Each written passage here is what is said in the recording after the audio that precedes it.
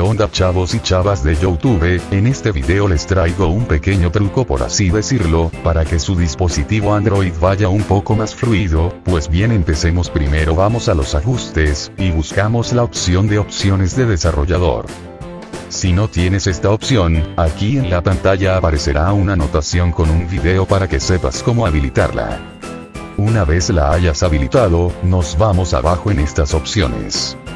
Escala de animación de la pantalla, si la seleccionamos nos aparecerá como defecto, una X, la cambiamos por la de 0,5.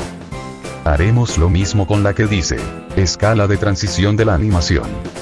Y también cambiamos la que dice, escala durante la animación, solo cambiamos esas tres. Una vez hecho esto, lo que tendrán que hacer será reiniciar sus dispositivos, y podrán notar un pequeño cambio, su dispositivo se verá más fluido, en las transiciones, efectos etc.